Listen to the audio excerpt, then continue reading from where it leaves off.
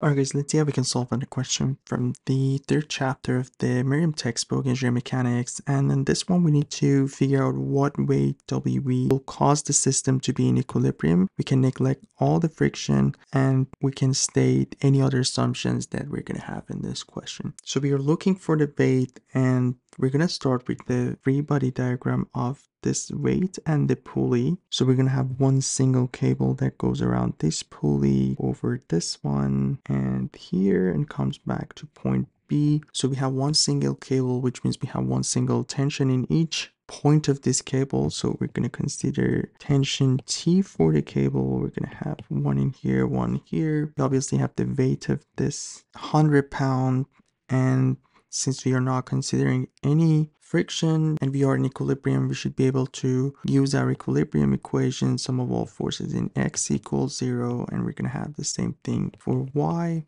So I'm just going to show our x and y for the first block. Let's call this x, and this will be our y-axis. So in x-axis, we're going to have the two tension in the cable and we're going to have the x component of the w which is what we have in here. So that's going to be we know this angle is also 25 degrees since this angle is 25 so minus w sine of 25 degrees equals zero. And we know also that w is 100 pounds so we should be able to find the t's so here our tension in the cable would be weight sine of 25 degrees divided by 2 so the tension in the cable would be 50 sine of 25 degrees. So that's going to give us 21.1 pound.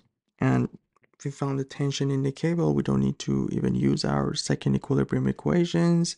And now we're going to move on to the free body diagram of the weight B and the pulley that is attached to that. So obviously we're going to have the weight of this part and we're to assume in this question that all of these tensions are vertical and each of them are t very similar to what we did in the previous part and we're just going to do sum of all forces in y equals zero. Let's just call our x and y for here maybe in this direction. We can use whatever x and y that we want to use in here. So we basically have 3t minus w b equals zero and basically our W would be 3 times 21.1